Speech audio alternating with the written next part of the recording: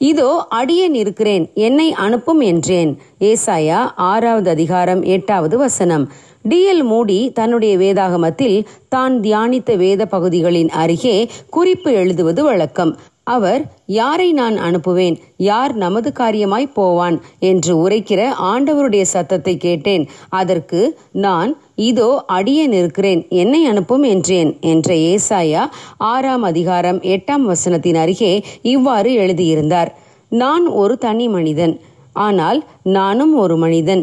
நானே எல்லாவற்றையும் செய்துவிட முடியாது. ஆனால் என்னாலும் சிலவற்றை செய்ய முடியும். எனக்கு என்ன செய்ய முடியுமோ அதை நான் செய்து முடிப்பேன். நான் என்ன செய்து முடிக்க வேண்டுமோ அவைகளை தேவ கிருபையால் செய்து முடிப்பேன் என்று எழுதியிருந்தார். ஆம் பிரியமானவர்களே இவ்வுலகில் பிறந்த நாம் ஒவ்வொருவருக்கும் தேவன் ஒரு திட்டம் வைத்திருக்கிறார். தம்முடைய வேலையை செய்து முடிக்க தேவையான கிருபைகளையும் அவர் தருகிறார். அர்ப்பணம் ஒன்றுதான் நமக்கு தேவை. அர்ப்பணிக்கிறவர்களுக்கு தேவன் தேவையான கிருபையை தந்து பயன்படுத்துவார். எகிப்திலே அடிமையாயிருந்த தமது ஜனங்களை விடுவிக்கும்படி தேவன் மோசையை பயன்படுத்த விரும்பினார். மோசேக்கு தேவையான கிருபைகளை தேவன் தந்தார். எகிப்திலே அற்புதங்களையும் அடையாளங்களையும் மிகுதியாய் செய்யும்படி தேவையான வரங்களை தந்தார்.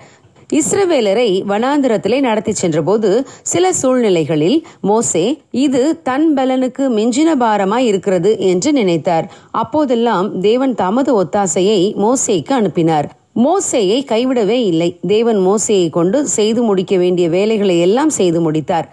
டிஎல் மோடி விசுவாசித்ததைப் போலவும் தேவன் அவரை வல்லமையாக பயன்படுத்தினார்.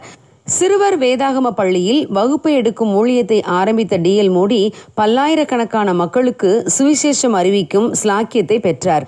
தேவ சத்தம் கேட்டு அவர் சித்தம் செய்ய அர்ப்பணிக்கும் ஒவ்வொருவரையும் தேவன் தனியே விடுவதில்லை. தம்முடைய கிருபைகளை தந்து வரங்களையும் தந்து அழகாய் அவர்களை வழிநடத்துகிறார்.